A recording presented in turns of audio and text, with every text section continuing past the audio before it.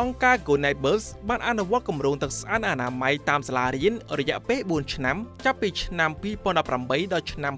2021ដោយសហការជាមួយក្រសួងអប់រំយុវជននិងកីឡាសម្ដៅលើកម្ពស់សុខភាពកុមារតាមរយៈការទទួលបានទឹកស្អាតនិងអនុវត្តអនាម័យល្អដោយជ្រើសរើសសាលាគោលដៅចំនួន